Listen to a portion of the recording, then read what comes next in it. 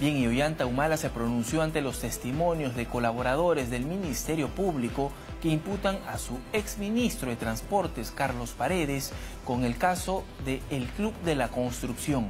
A través de su cuenta de Twitter, el ex jefe de Estado lamentó que el ex titular del Ministerio de Transportes y Comunicaciones haya sido mencionado en las investigaciones. Humalatazo concluye su mensaje asegurando está dispuesto a colaborar con las indagaciones a cargo del Ministerio Público.